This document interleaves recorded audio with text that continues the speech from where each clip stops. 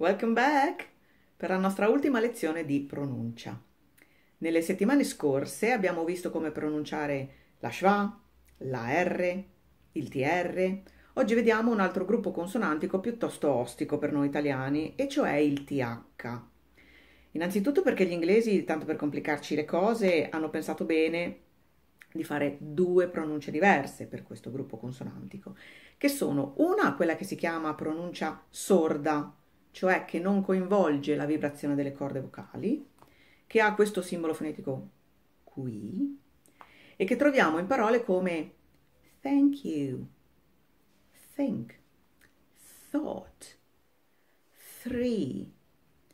L'altra che è la pronuncia sonora, dove invece c'è la vibrazione delle corde vocali, che ha questo simbolo fonetico qua, e che troviamo in parole come this, that, there.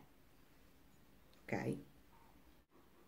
Per ricreare il suono del gruppo TH, nello specifico il suono sordo, quello senza la vibrazione delle corde vocali, prova a pensare a un serpente che sibila.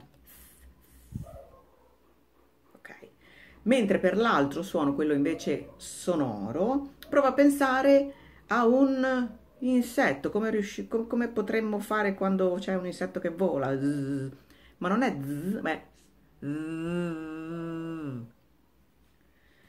Prova a mettere una mano sul collo e a fare i due diversi tipi di pronuncia, sorda e sonora, e vedrai la differenza.